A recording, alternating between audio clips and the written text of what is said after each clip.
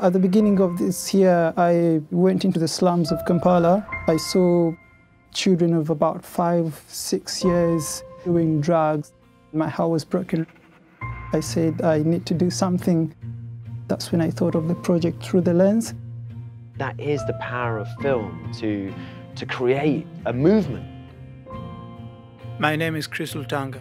I'm a filmmaker from Kampala.